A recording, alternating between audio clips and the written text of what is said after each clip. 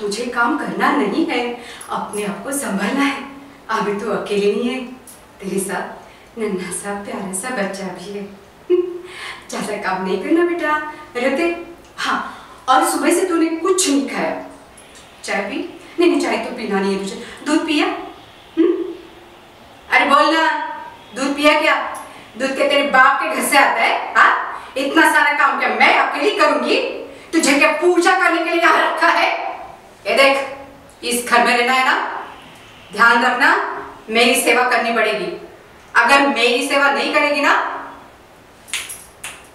मायके नहीं, ऊपर भेज दूँगी। समझी? जल्दी जल्दी काम कर।